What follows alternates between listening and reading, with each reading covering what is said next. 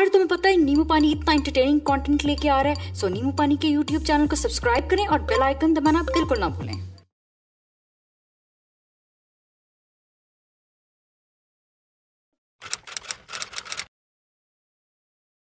मेरा नाम रूही जहर शाह है। मेरे, मेरा ताल्लुक सुबह खैबर पख्तूनख्वा से है। मेरा ख़ुद ज़ाती तौर पे मैं पेशावर से ताल्लुक़ रखती हूँ। मेरे हस्बैंड जो हैं, उनका ताल्लुक़ सवाबी से है।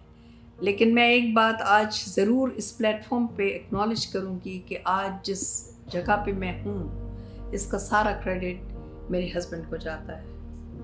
क्योंकि मैं एक कंजर्वेटिव फैमिली से थी और मेरी बड़ी अर्ली एज में शादी हो गई थी। लेकिन मेरे हस्बैंड ने मुझे बहुत प्रमोट किया और आज एक ऐसे धारे पर खड़ा किया कि जहाँ पे मुझे कामयाब औरत का मकाम मिला। लेकिन इसके बाद मेरे बच्चों ने मुझे बहुत इस चीज़ के ऊपर कहा फोर्स किया कि नहीं, आप करें। I use to be a begum मैं एक बेगम की तरह ज़िंदगी गुजार रही थी। हो सकता है मेरा ये कहानी बहुत सी बच्चों को इंस्पायर कर दे। और जब मैं सुबह देर से उठना और parties and function and that is it मेरा एक बेटा पैदा हुआ जिसमें थोड़ी सी एबनॉर्मलिटी थी। उस वक़्त मैंने ये डिसाइड किया कि मैं अमेरिका शिफ्ट हो जाऊँगी, क्योंकि मेरे लिए आसान रास्ता था वो। लेकिन मुझे फिर बाद में पता चला कि के पी में एक टीम आ रही है अमेरिका से, जिनका हस्बैंड एंड वाइफ थे, वो इशूलेस थे, उनका नाम था माइल्स एंड क्रिस्टीन तो एज अ पाकिस्तानी लेडी मैं दूसरे दिन उनके पास गई बहुत बड़ी गाड़ी में बहुत सज बन के और जब मैं वहाँ गई तो क्रिस्टीन जो थी वो एक फ़कीर के बच्चे को नहला रही थी, जो कि मुझे बहुत बुरा लगा। मैंने कहा, ये कैसी अमेरिकन है और ये कैसी औरत है जो ज़मीन पे बैठ के एक फ़कीर के बच्चे को नहला रही उसको मैंने इंट्रोड्यूस किया तो उस, उसने मुझे बड़ी नफ़रत से देखा और मुझे कहा this is not the way to come to me so if you want to meet me come in a proper way so that was a turning point of my life जिससे मुझे बेगम से एक फ़कीर ने बना दिया। And I am so proud of it फिर मैंने उनके साथ पाँच साल तक काम किया। मेरे बेटे को उन्होंने ट्रेंड किया। माशाल्लाह मेरा बेटा इंडिपेंडेंट है सेमी एजुकेटेड है, अपने को संभाल रहा है। तो यहाँ से मेरी ज़िंदगी का सफ़र स्टार्ट हुआ। फिर मैंने पिशावर में शुरू हुआ बहबूद एसोसिएशन। उसको ज्वाइन किया। मैं बच्चों को पढ़ाती थी स्ट्रीट चिल्ड्रन को। उसके बाद मैंने अपोआ ज्वाइन किया। फिर एक यतीम खाने के साथ भी मैं इन्वॉल्व हूँ। उसके बाद होते होते फिर मैं गर्ल गाइड्स में आ गई। दस साल मैंने कामयाबी से अपना चैप्टर चलाया, जिसमें बहुत सी चेंजेस हम लोग लेके आए, बहुत काम हमने किया। फिर उसके बाद मैं चैम्बर ऑफ़ कॉमर्स का हिस्सा रही। चैम्बर ऑफ़ कॉमर्स में मैं अब भी यंग जो हमारा यूथ है, उसकी चेयरपर्सन हूँ। So I always want a change a positive change in a girl मैं वुमेन एम्पावरमेंट के ऊपर बहुत ज़्यादा यकीन रखती हूँ। क्योंकि अगर एक मर्द पढ़ लिख जाता है तो वो अपने को ठीक कर लेता है, लेकिन एक औरत जो अगर पढ़ लिख लेती है, वो दस जनरेशन को ठीक कर लेती है। आप सिर्फ़ एक एक्सपायरी मेडिसिन के ऊपर आप काम करें ब्रेस्ट कैंसर के ऊपर काम करें, उनके सेल्फ कॉन्फिडेंस के ऊपर काम करें you will get a goal सो ये मेरी ज़िंदगी की कहानी थी। मैं पिशावर के लोगों को ये मैसेज दूँ कि आप लोग तकड़े हो जाओ, आपकी हिस्ट्री है, आप बहुत कुछ कर सकते हमारी ज़बान ख़त्म हो गई है। लोग जो है, अपनी ज़बान बोलते नहीं हैं। पहले हमारा मसला ये होता था कि नानियाँ, दादियाँ, बेचारियों को फोर्स किया जाता था, बच्चों के साथ उर्दू बोलो। हार्डली वो उर्दू बोलती थी। अब दूसरा रोला रपा ये आ गया कि ग्रैंड बच्चों ग्रैंड चिल्ड्रन के साथ अंग्रेज़ी बोलो। इसलिए हमारी जनरेशन में बहुत डिस्टेंस आ गया है, क्योंकि वो कम्युनिकेट अंग्रेज़ी में नहीं कर सकते। बच्चे अंग्रेज़ी बोलना चाहते हैं। माएँ भी चाहती हैं कि हमारे बच्चे सिर्फ़ अंग्रेज़ी में बात करें। तो ये हमारे सोसाइटी के ऊपर, हम पेशावरियों के मुँह के ऊपर एक बहुत बड़ा थप्पड़ है। हमें चाहिए कि हम बच्चों को अपनी ज़बानें सिखाएँ, अपने कल्चर के नज़दीक करें। आप देखें, कहीं भी मैं जापान गई थी, वहाँ पे मैंने एक चीज़ देखी है कि आप रास्ता भी पूछो तो वो आपको अंग्रेज़ी में नहीं बताते। वो कहते हैं, इशारे से कि आप ऐप डाउनलोड करें, आप हमसे अंग्रेज़ी में बात करें, हम आपको जपनीज़ में जवाब देंगे। ये वो कौम है। अनहेल्दी कंपटीशन बहुत आगे। बच्चा बैग भी लेके जा रहा है, ब्रांडेड बच्चा जूते भी पहन रहा है, ब्रांडेड सब कुछ पहन रहा है खातन भी ब्रांडेड हो गई हैं आई डोंट नो ये फोबिया कहाँ से आ गया? मेरा ये असूल रहा है कि मेरे जब मैं गर्ल गाइड्स में थी वहाँ we have to wear a uniform मैंने मैंडेटरी किया हुआ था कि 500 का यूनिफॉर्म होगा सौ रुपए का दुपट्टा होगा। सो so, हमारी दो चीफ गाइड रही हैं मिसेस इकबाल झगड़ा हमारी जो ये रही हैं Mrs Zahida Shah Farman wonderful lady वो हमारे इतने कॉस्ट का यूनिफॉर्म पहन के हमारे साथ शरीक होती थी। And I am proud of them अभी चीज़ हमारी आ जाती है कि हमने आगे करना क्या है। हम लोग सब डायरेक्शन लेस हैं। सबसे बड़ी बात यह है कि बच्चों में कॉन्फिडेंस लाएँ। बच्चों से ये अनहेल्दी कंपटीशन निकालें। फिर आप, मैं जापान की मिसाल आपको दूँगी कि जापान में मैं एक स्कूल में गई जहाँ मैंने डेज़ स्पेंड किया। आप यकीन करें, उनके ढाई ढाई साल के बच्चे थे, वो बो कर रहे थे। सैनिटाइज़र उस टाइम कोई कॉन्सेप्ट नहीं था कोविड का। वो हाथ साफ़ कर रहे थे, इसके साथ सैनिटाइजर्स के साथ। अंदर वो गए तो मैंने एक चीज़ वहाँ देखी कि सबके लंच बॉक्स एक साइज़ के थे, एक रंग के थे और सबने एक तरह पकड़े थे। तो मैं बड़ी हैरान हुई कि बच्चे कैसे पहचानते होंगे अपने लंच बॉक्सेस उन्होंने जाके फिर लाइन पे रख दिए सारे लंच बॉक्सेस सो so, मैंने क्वेश्चन रेस किया तो वो उनकी टीचर मुझे कहती है Mrs Shah just wait for the break you will get your answer after the break मैं मैं चुप हो गई जी। जब मैंने देखा कि घंटी बजी तो सब बच्चों ने लंच बॉक्सेस ला के टेबल के ऊपर रख दिए और लंच बॉक्स रोटेट करने लगे। अच्छा इसके पीछे क्या सोल थी? कि कोई बच्चा कॉम्प्लेक्स ना फील करे कि मैं खाली चावल लेके आया हूँ, या मैं चिकन लेके आया हूँ, या मैं बीफ लेके आया हूँ। किसी को किसी के लंच बॉक्स का पता नहीं था कौन क्या खा रहा है, कौन क्या लेके आया उन्होंने वापसी पे बंद किया, उसको वापस रख दिया। हर किसी ने अपना लंच बॉक्स उठाया चला। कितना बड़ा सबक है। ये तो हमारे नबी रसूल करीम वसल्लम ने ये चीज़ हमें डाली थी कि हम सब बराबर हम सबको जो है साथ मिल के चलना। है और मैंने ये देखा है कि जितनी दफ़ा भी हम लोग गए हैं, वो लोग बस में हमें जगह देते थे। हम लोग देखते हैं ट्रैफ़िक में तक कंपेल। जब हम लोग गुजरते थे वहाँ से तो बस टाइम तो मैं ये समझती थी कि शायद मैं पता नहीं सेलिब्रिटी हूँ कि क्या हूँ। ये लोग मुझे देख के खड़े क्यों हो जाते हैं? स्टैंड स्टिल हो जाते थे। लेकिन जब मैंने देखा कि और ख़वातीन भी जीत, हमारी एज ग्रुप की थी या मर्द थे, उनके लिए स्टैंड स्टिल हो जाते थे कि ये गिर ना जाए। ये रोड क्रॉस कर लें, ये आराम से चले। That's it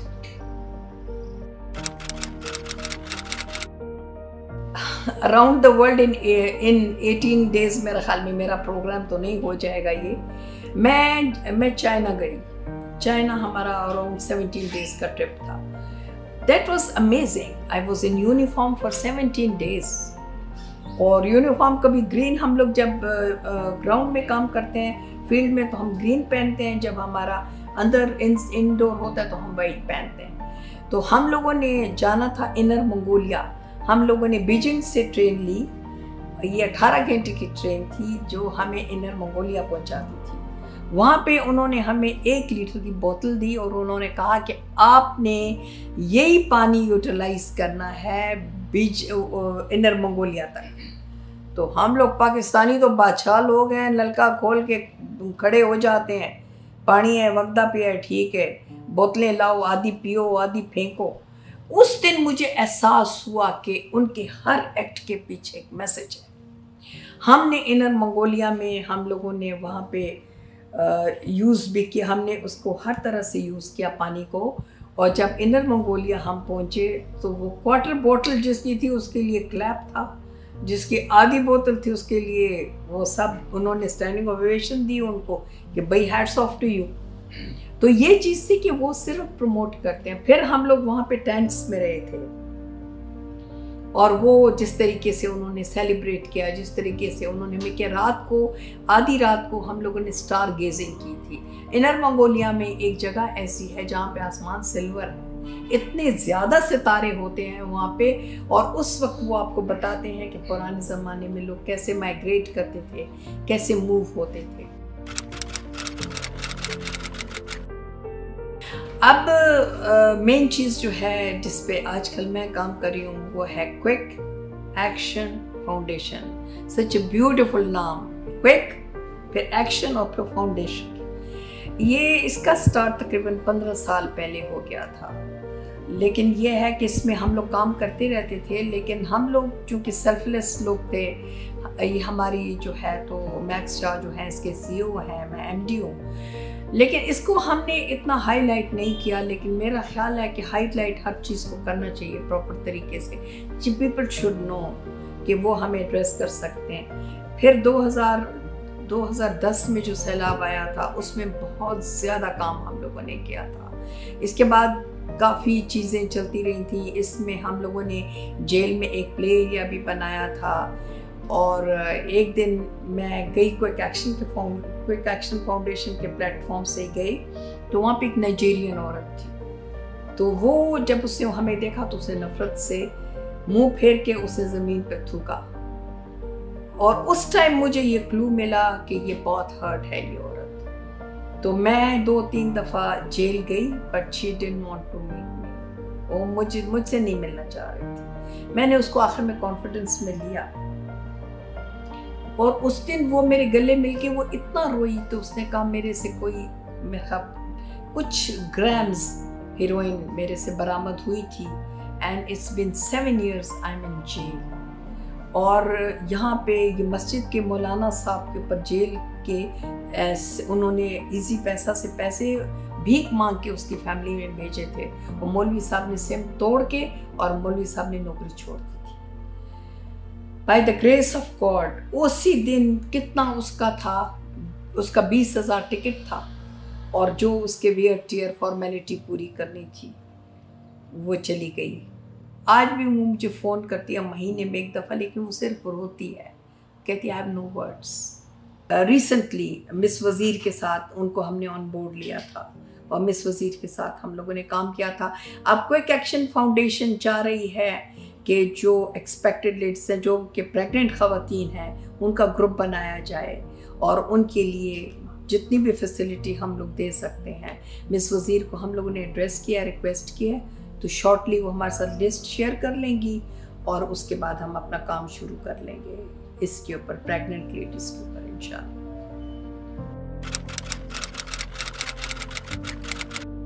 गवर्नमेंट बहुत बड़ी हर्डल है। मुझे बहुत डिफ़िकल्टीज़ हैं। जब मैंने गर्ल गाइड्स के लिए काम किया था एजुकेशन डिपार्टमेंट वो मेरे ख्याल में उनके तो हेड लिस्ट पे थी मैं। एक दफ़ा क्या हुआ, हमारा एक्सचेंज प्रोग्राम था, तीन बच्चियाँ थीं जिनको हमने भेजना था चाइना। बिग विग्स ने डिसाइड करके कहा, बस ये लड़कियाँ चली जाएँगी। मैं उसी रात कनाडा से आई और मैंने एक आदमी दिहाड़ी करता था। एक मस्जिद का मौलाना साहब था और एक कबाब कबाड़ी था। तीन बच्चियों को मैंने आठ दिन में ट्रेन करके मैंने चाइना भेजा फ्री ऑफ़ कॉस्ट और जब वो वापस आई तो डायरेक्टर साहब जो है I don't want to take the name it's been बड़ा पर्सनल हो जाएगा।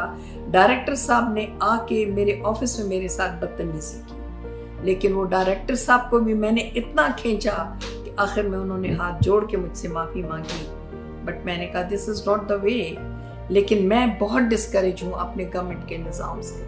मैंने बहुत से मैं प्रोजेक्ट्स लेके आती हूँ, लेकिन साफ़ बात है कि हर कोई पर्क माँगता है वहाँ पे। जब मैं नहीं लूँगी तो मैं किसी को क्या दूँगी?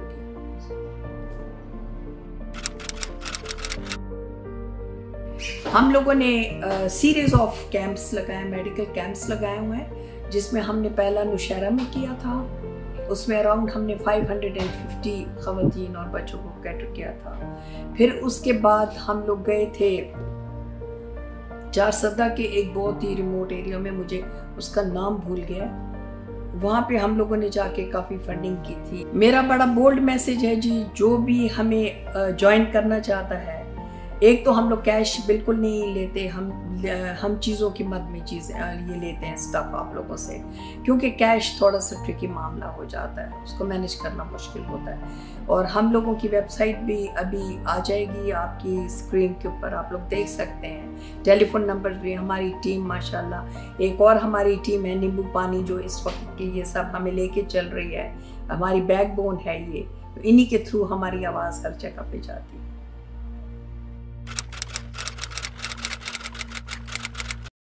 मैं जो काम करती हूँ नीड एंड डिमांड की बेसिस के ऊपर काम करती हूँ। एक एरिया हमारा ऐसा है, आजकल सुबह सरहद का, जिसमें कि इट्स वेरी सैड कि उसमें ब्रेस्ट कैंसर अवेयरनेस प्रोग्राम्स बिल्कुल भी नहीं होते। हम लोगों की बेगमात ये करती हैं, जी पर्ल कॉन्टिनेंटल में सेरेना बड़े बड़े होटल्स में वो लगा के सेलिब्र वो सेलिब्रिटीज़ को बुला के और वो दिखा देती हैं, जी हमने ये किया, हमने ये किया, हमने ये किया तो गरीब बंदा कहाँ है? गरीबों की बेटियाँ कहाँ हैं? उनके टेस्ट कहाँ हैं? तो मैंने एक ड्राइव शुरू की हुई है, जी, अभी तो हम लोगों ने उसको स्टार्ट करना है कि हम लोग मुख्तलिफ़ विलेजेस वो आप लोग देखते रहेंगे नींबू पानी की स्क्रीन पे। हम लोग जाके उनको मॉनिटरिंग मॉनिटरिंग भी शुरू करेंगे और इनको अस्पतालों के साथ कनेक्ट करेंगे। और फिर उसके बाद एक तो सेहत कार्ड है, उसके थ्रू भी इलाज हो सकता है। अदरवाइज़ जो है हॉस्पिटल वैसे भी फैसिलिटेट करते हैं। और बाज़ ऐसे होते हैं 99.9 गिल्टियाँ जो है वो मेलेगनेंट नहीं होती उनके लिए मॉनिटरिंग उनको चाहिए होती है। तो ये एक बहुत सैड पार्ट है कि अक्टूबर का मंथ भी हमारे लिए प्रमोशन मंथ बन जाता है। जिसमें मैं देख रही हूँ पिंक कपड़े पिंक रिबन पिंक लाइटें लगा लें, जी पिंक ये कर लें, जी हमारा खिताब रख लें। आप हमारी वाह वाह कर दें, हमारी आप आप वो डॉक्यूमेंट्री चला दें। It's not enough it's not fair हमारे जैसे गरीब मुल्क को ये सब कुछ जेब नहीं देता। अगर कोई करते हैं तो उनके लिए बायस शर्म है। आए, मैदान में आए, काम करें और आप बताएँ कि आपने इस अक्टूबर के महीने में कितनी खातन बच्चियों को इस वबा से बचाया, कितनों को डायग्नोस करवाया, कितना का इलाज करवाया, कितनी औरतें इस कैंसर के मुजिमत से बाहर आ गई। पिंक रिबन आपका हेल्प नहीं करेगा, आपके एक्शन हेल्प करेंगे। Again quick action and foundation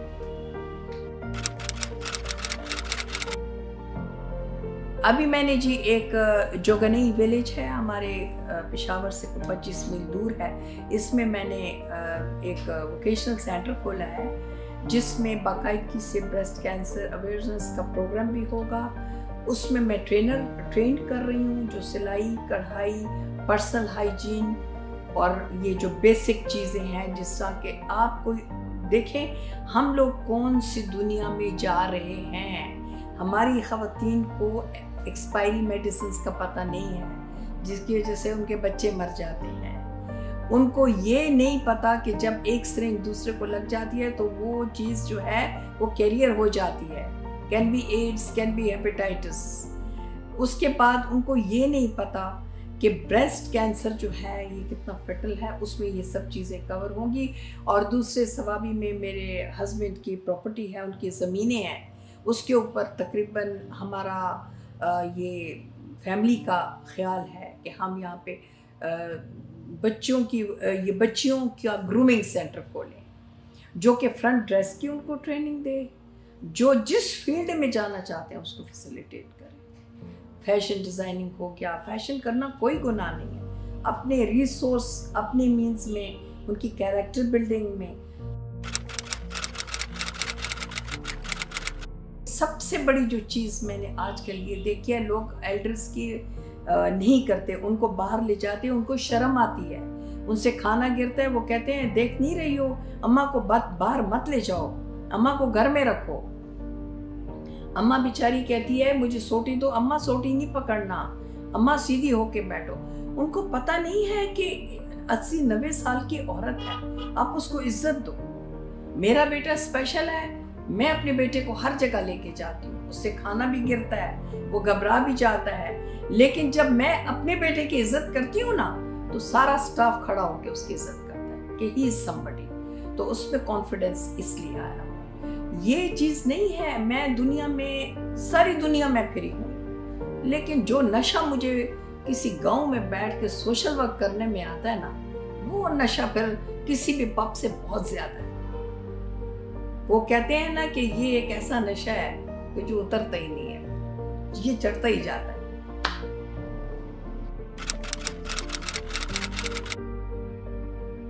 आज मैं आपके प्लेटफॉर्म से, नींबू पानी के प्लेटफॉर्म से ये मैसेज देना चाहूँगी अपनी यूथ को कि माशाल्लाह माशाल्लाह आप लोगों के आगे जवानी पड़ी हुई है। अल्लाह ताला सबको जवानी नसीब करे। आप आज से ये अहद कर लें कि हम सबसे पहले जो हमारा पहला असूल है, अल्लाह पे भरोसा रखें, नमाज़ कायम करें, बड़ों की इज़्ज़त करें, अपनी ज़बान को प्रमोशन दें, पाकिस्तान से प्यार करें। और अपने आप से प्यार करें। से नो टू नशा से नो टू शोशा डेडिकेटेड हो जाए अपने फ्यूचर के लिए। अपने माँ बाप की आँखों का तारा बन जाए। उनके लिए बाई से शर्म मत बने थैंक यू